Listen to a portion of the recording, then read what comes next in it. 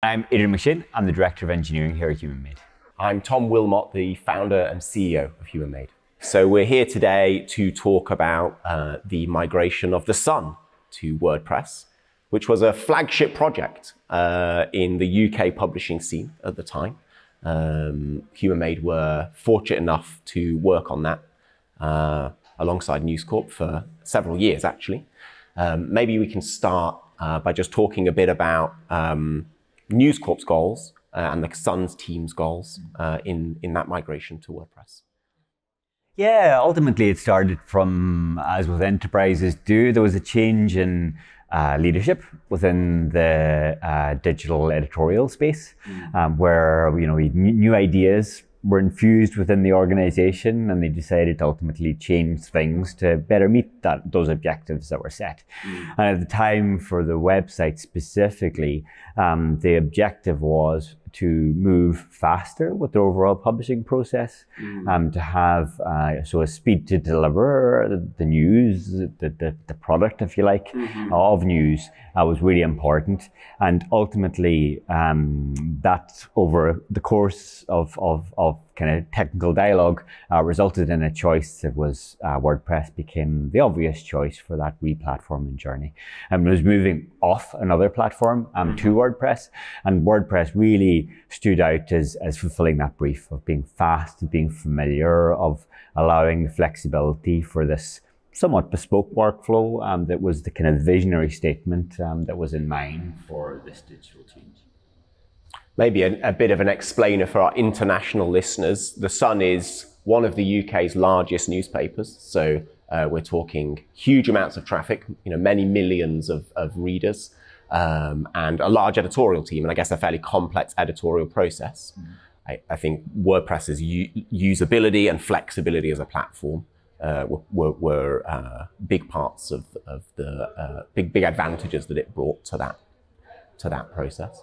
Um, maybe then we can segue a little bit into the planning for the project. I mean, this, this is a huge project, a lot of people, a lot of stakeholders, big organization. Mm. Uh, what are some of the things that you remember about how we pr- approached that, approached the planning of that?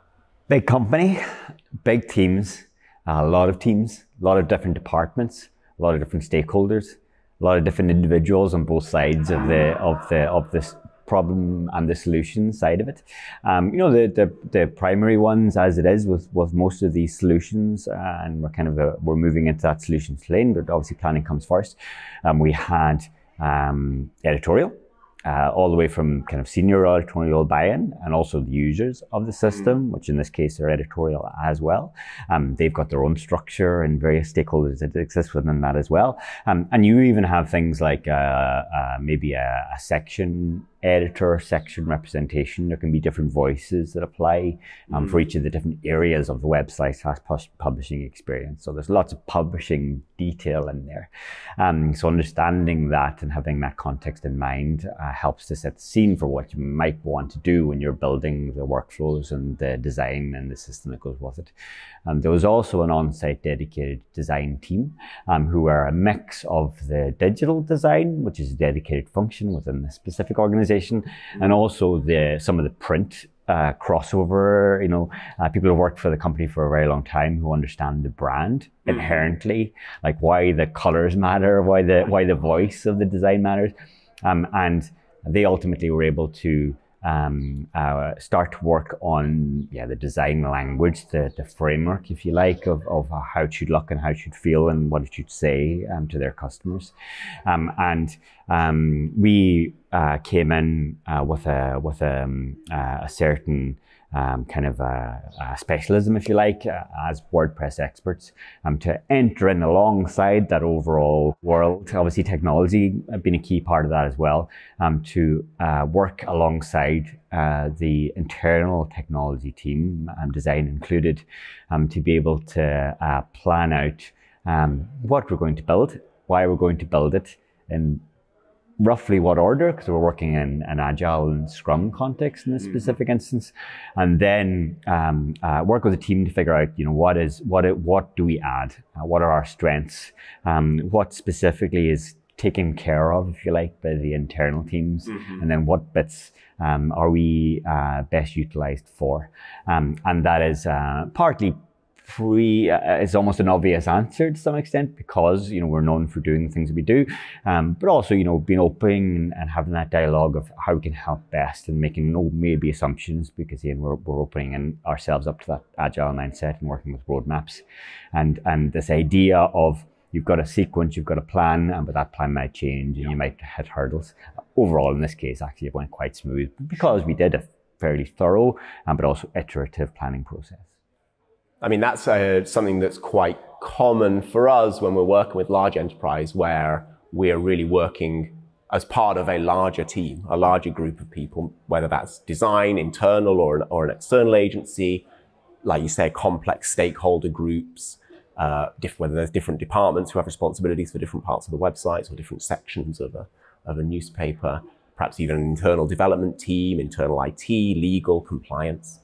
Um, and so I think that's uh, an experience we, we bring is, is uh, to these kinds of projects, uh, being able to uh, marry the requirements and the desires of, of that like diverse stakeholder group uh, with uh, the good, good engineering and technology and approach to WordPress um, at scale.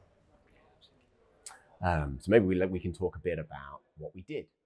What, did we actually, what does it look like actually to yeah, so so yeah, absolutely. So within that dialogue, you know, uh, really understanding the brief and getting to that brief and having the open dialogue with the with all of these stakeholders, um, and again understanding you know why we're having that conversation to really set the scene of what we're doing and why. Um, that was kind of again in that planning stage. Um, moving out of that, what materialized again coming back to that brief of faster, mm. uh, more efficient, you know, and obviously the the, the, the benefits of efficiency um, is that um, there was a few primary big blocks, fairly heavy lifting blocks actually mm. the human made ultimately took primary responsibility for. One of those, and it's a frequent one because we're moving to a different platform, moving to WordPress, mm-hmm. and there's a big migration piece, um, as you would expect uh, for the Sun, and there was a lot of content already produced, already useful. Archives are a, a massive asset, um, and you're able to resurface those in different ways. And, and, there's a you know SEO benefits and all of those things come with that archival data. Um, so moving those over to WordPress so they can be uh, so that they operate within this new design language. Uh, that they are uh, reusable where relevant, where they play a part of section mm. things, and and also things like uh, understanding and applying taxonomy. Taxonomy is a big thing for these larger organizations, which is this idea of um, how are th- how is the data itself structured? Where do things go, and why do they go there? We understand those as the sports section, um, but again, with, when you're dealing with a lot of data, um, making that straightforward is complex. Um, turning something complex into simplicity is a big part of what this work is. Um, so really, uh, we were we were kind of um, that blend of them understanding these intricacies of taxonomy and probably already having one, but also marrying that up with the design yeah. and also marrying that up with um, what our ideas of what will work for WordPress. Yeah, so mapping that. CMS architecture, where things are and why. There, there's this association that you have to understand to apply appropriately. Um, again, in WordPress, you know, those typically bottom down is what we would call um, custom tax, custom taxonomies, uh, post types. Yeah. There's lots of uh, technical details there and understanding what matches to what um, for their specific needs. Uh, yeah, especially at that kind of scale and with that kind of uh, size of that content archive, those decisions actually end up being quite important in terms of the making the right architectural decisions at that stage. Um, migration is something that uh, is uh, a big part of, a, of an enterprise project. Uh, uh un- unlike you know non-enterprise projects, where often you you can just start again. It's easier to rewrite the content for the website as part of the web project. Whereas for someone like the Sun, they've got a uh, generational history of content that's deeply important to them. And uh, I think an advantage of WordPress being so flexible, its open, flexible architecture, uh, being that you can, you really can migrate almost anything into into that archive. Often we'll find we're bringing together even content from multiple different CMSs, uh, even offline sources. Um, and uh, this opportunity to migrate into WordPress and unify all of that in one um, one grand migration. So that was one, and you know, that kind of migration is is a is a, a you know that kind of gets broken off. That's almost a project yeah. within itself. Um, and again, can be made. We're, we're, the big owners and drivers of that overall in collaboration with the relevant units within within the organization. Um, and then we had um, quite a specific but but very large and optim- optimistic brief. The stakeholder side, we had the, the, their brainchild, their their specific uh, vision for how this might be a market differentiator for, mm. for them. And, and, and again, really leaning into the efficiencies aspect of, of what would make the difference.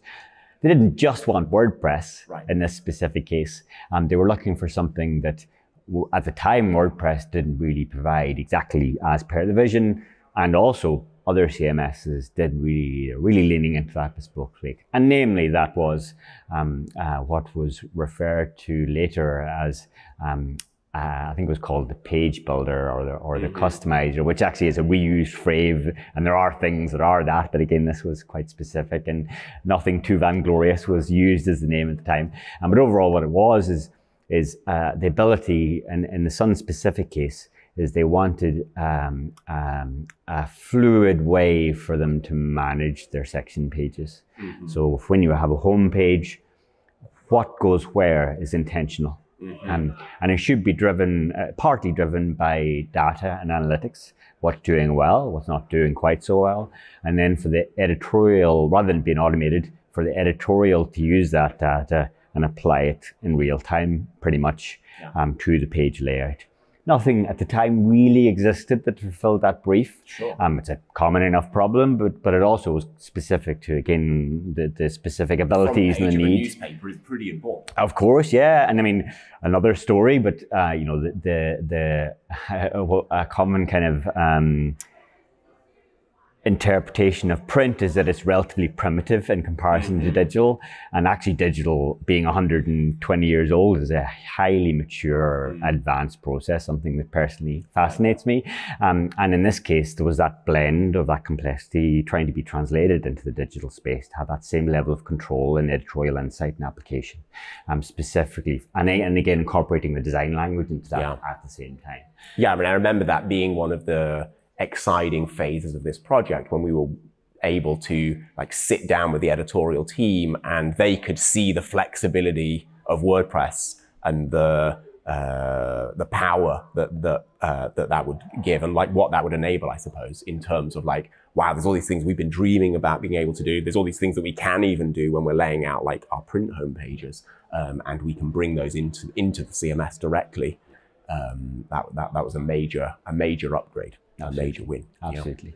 Uh, so yeah, so there was a that became that tool had to be designed in turn. Yeah. Uh, how how the toggles work, how the layout of that, uh, how it can be representative of the page, but also has the controls embedded within them. Mm. Um, none of that naturally fitted in with WordPress as it was.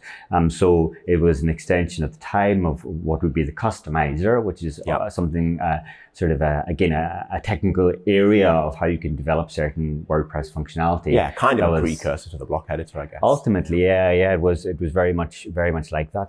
Um, and we built uh, a bespoke uh, framework slash platform on top of that to allow them to have this specific control. Um, and um, as a result of that, they were able to again, that's where most of the efficiency control meet our brief value came through. Um, ultimately, the website still under it also was fast, performant. All of those things are also kind of sure. mutually beneficial with having a site at this scale. Um, but that was one of the things that, that maybe really stood out, I suppose, as part of the brief and the execution part. Yeah, I mean, like what we often see, like when we're in the discovery phases with uh, with other big publishers or, or, even just enterprise more broadly who and they're using like perhaps a legacy at more enterprisey CMS is that actually a lot of their workflow it has to be done outside of CMS and like really the final stage is you copy and paste something into the CMS um, and that's just like very inefficient.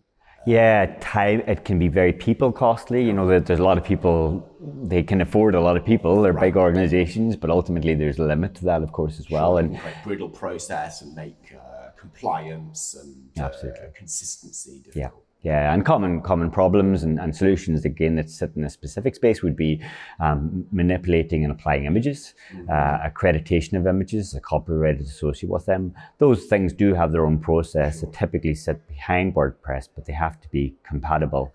Um, remember, there was going migration. There, there's lots of integrational aspects of what's required as well. Also, ultimately developed uh, in partnership with us, which is things like um, for the copyright aspect of images. All images ultimately are copyrighted, and there's an obligation to report on mm-hmm. when things are used and how, and that they ultimately fulfill um, their copyright obligations.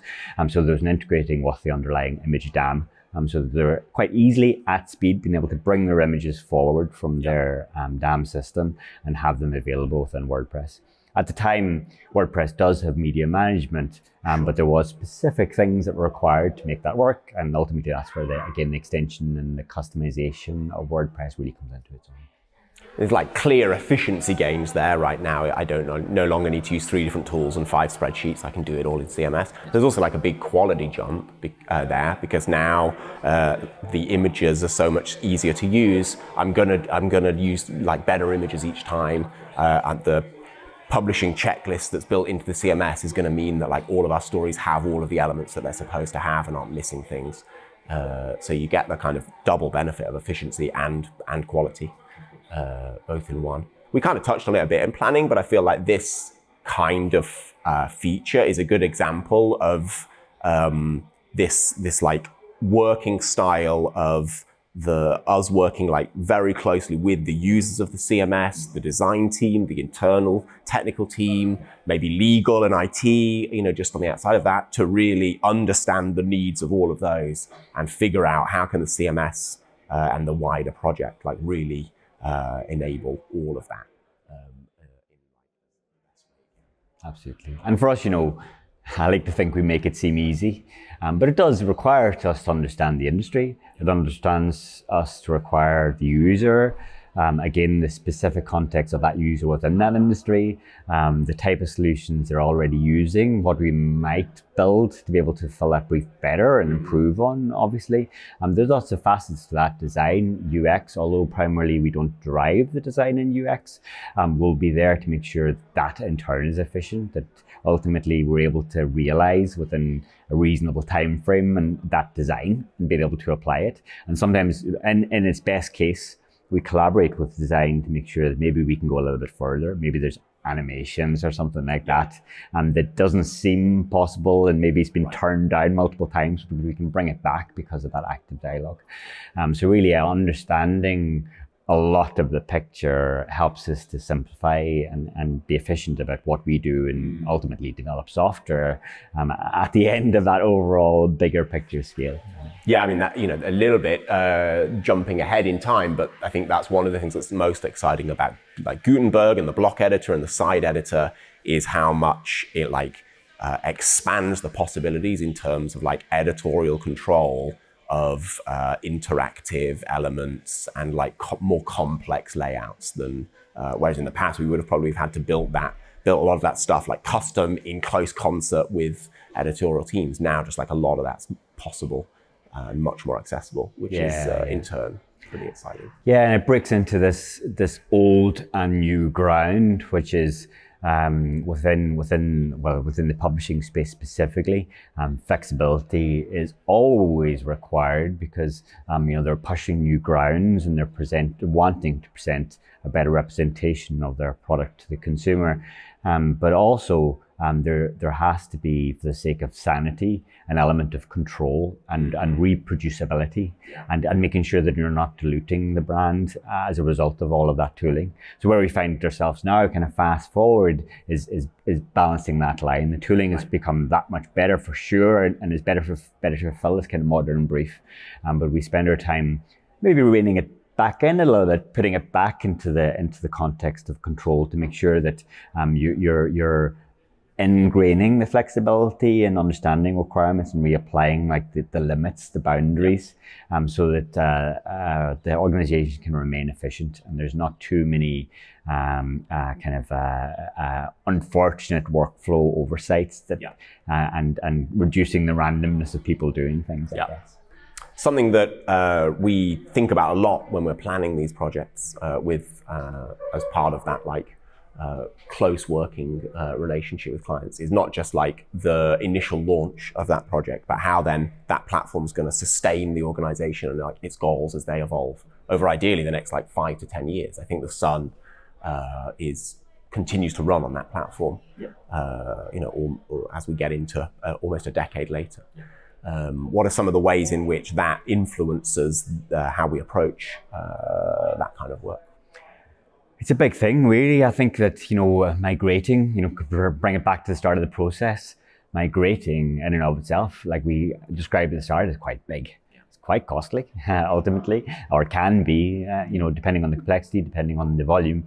Um, but ultimately, it's a pretty big endeavor. You know, all that work that we talked about, that has to potentially be done again. So we take very seriously. We don't want we want to be building things in mind to make sure that ultimately, as much as possible, the organization doesn't have to go through this process mm-hmm. within reason. And there's obviously always exceptions potentially where they have to go back to the drawing board. You know, that fundamentally the, the needs of the organizations can change, mm-hmm. but we assume that, that it won't that much. And again, WordPress will remain flexible and available for them to have this long term view.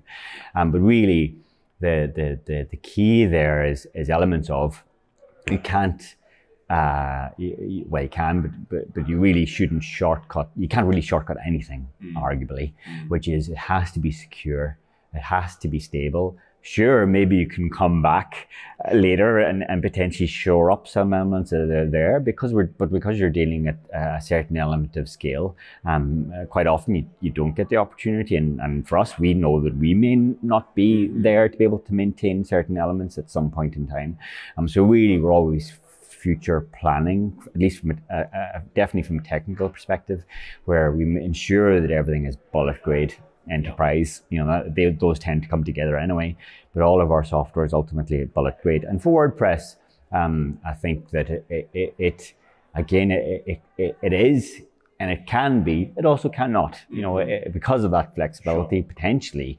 Um, there are, um, you know, as everyone generally knows, there's a very large WordPress ecosystem. There are a number of solutions available. Quite a lot of them are off the shelf, which obviously is massively beneficial to the wide plethora of how you might apply it. Uh, mm. but, it, and that can be from a small website to again, all the way to enterprise.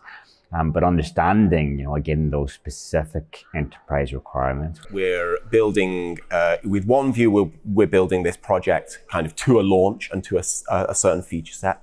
Um, but with another view, we're building a set of reusable modular components that are going to continue to evolve over time.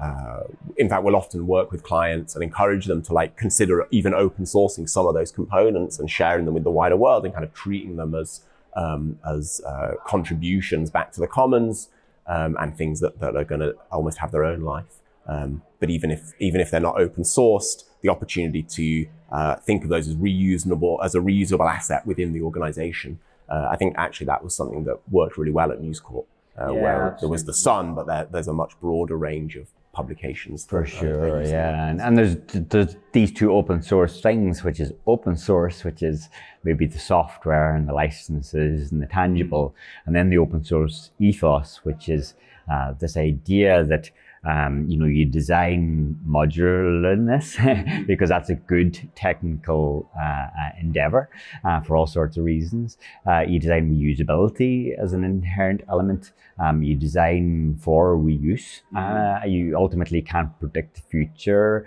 and you don't want to. Uh, you want to reutilize and reapply the, any value you create, and you don't really know in future how that might play out. Mm. Um, so open source ethos really helps with that specifically. Yeah. Um, so everything that we do can be can be almost pulled out and reapplied or, or switched on or switched off. Again, as the organization changes, which does, um, you've got this modular concept to play with almost at all levels. Um, uh, also, you know, over the over the longer kind of uh, time frame of the Sun itself, um, they ultimately went headless, uh, mm-hmm. uh, and then it now operates within a headless system. And there was a, a, relatively painless transition, which you know was a program in and of itself, um, to uh, uh, make this system available um, through APIs, which required in the context of making something headless. And then they stacked another um, infrastructure on top of it to make that facility without having to change the, the core, the workflow, the WordPress aspect of what was available to the uh, editorial teams, and they were able to change the outset for again changing requirement, changing landscape. We haven't touched on too much, but I guess that you know we're we're uh, working with uh, someone like the Sun to like do the work. Uh, there's also a big training element where we are working alongside their team, upskilling their team, maybe doing direct training, maybe just maybe it's just working directly with them uh, to kind of pass that on, so that at some point that can start to be transitioned, maybe post launch. The team then uh, take responsibility can take responsibility for shipping feature updates themselves. Maybe we stick, can stay involved in a consultancy capacity. Maybe there's some. Uh, maybe we come back in again when there's a spike in uh, in, in um, new functionality or, or new, some major new release. Um, maybe as we transition into talking just about like how it went, the legacy of that um, project. Um, one thing I think was pre- was particularly gratifying, just tying back to the open source, was to see how you know not only the Sun uh, succeeded off the you know post that migration, but the WordPress's um, usage within News Corp itself kind of flourished uh, after that, and uh, you know they've since moved many of their other flagship publications across uh, across the globe, really across certainly across the US and, and Australia. Um, what were the, some of the other kind of measures of success from you know from uh, the the Sun side, from News Corp side, uh, and what are some of the kind of perhaps measures of success that we might look to as an agency uh, several years on now? Yeah, absolutely. Yeah, a, a few you know fairly common uh, common uh, fundamental things there. One of them was page views themselves. You know, the the ultimately uh, part of uh, you know, key metric uh, that exists within you know these large web uh, publishing platforms.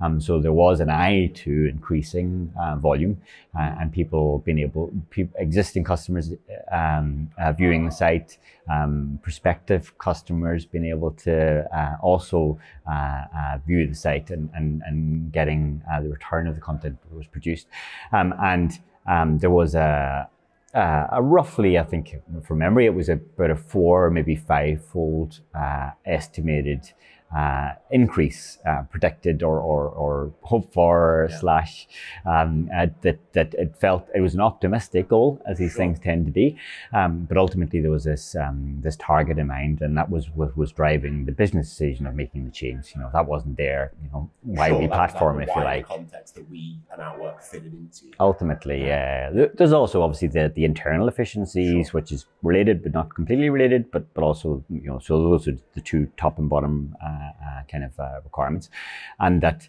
um, and at the time uh, both were ultimately met. Um, you know, I uh, don't know the exact figures, but I do know what the figures were.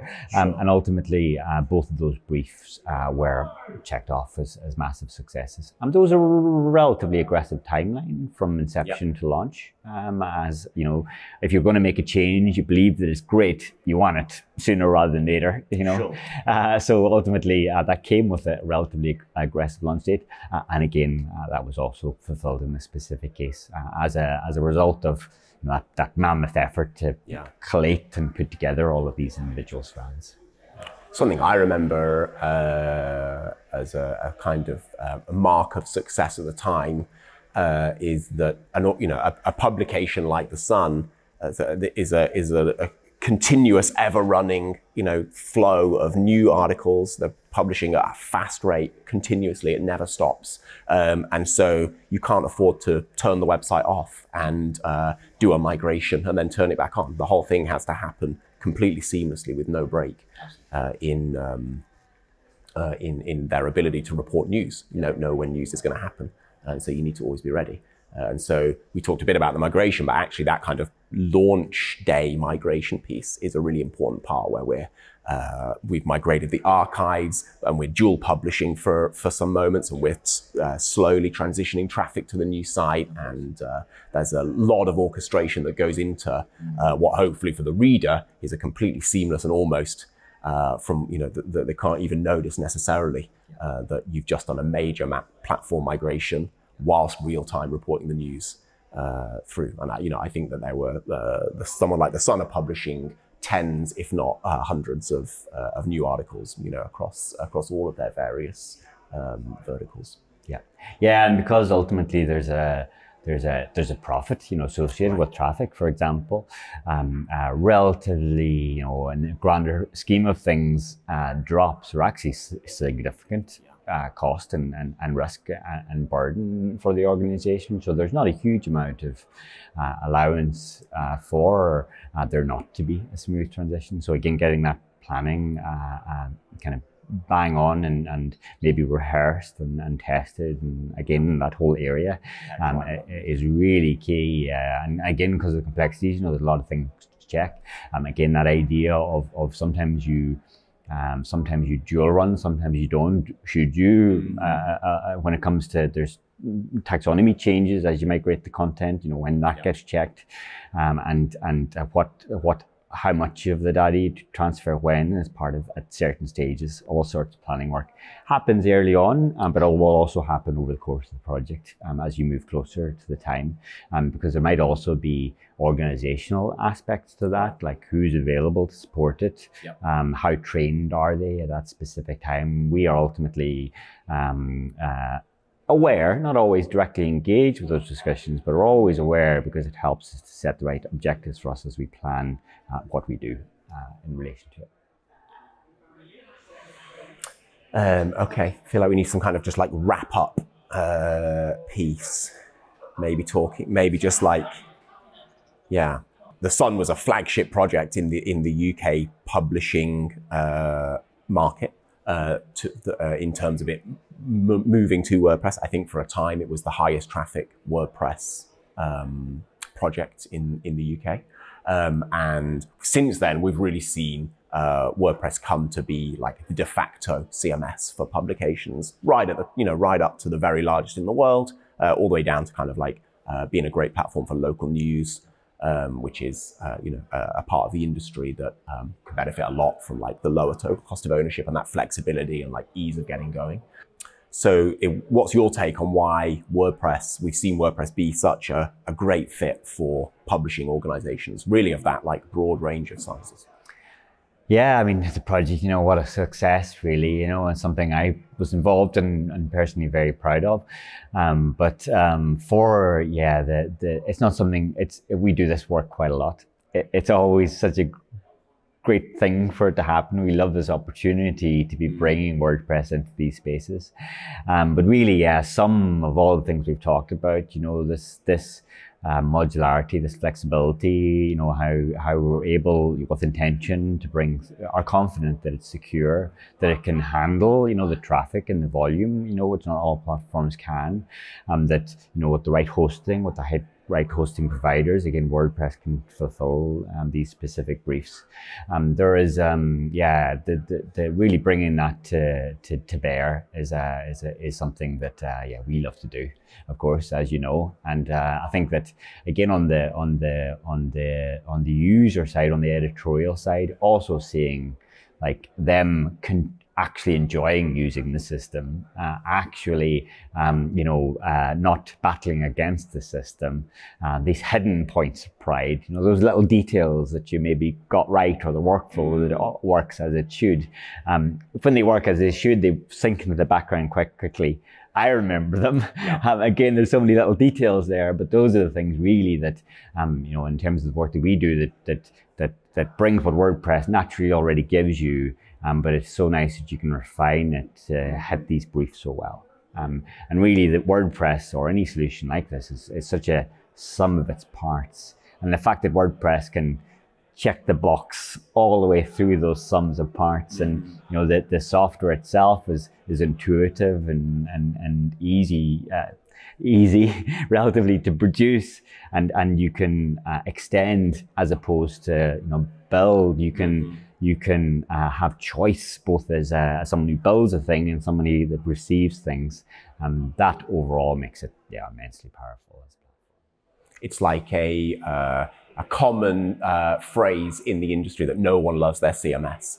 Uh, and I feel like that's one of the most gratifying things when we're working with an organization. I remember this at the Sun with the editorial team, like the people who are using their CMS, uh, seeing that shift from like, this is a tool that feels like it gets in my way and like a pain I have to endure in order to achieve what I want to achieve to like something I actually enjoy doing and feel empowered by. Okay, well, thanks very much. Great to talk to you today.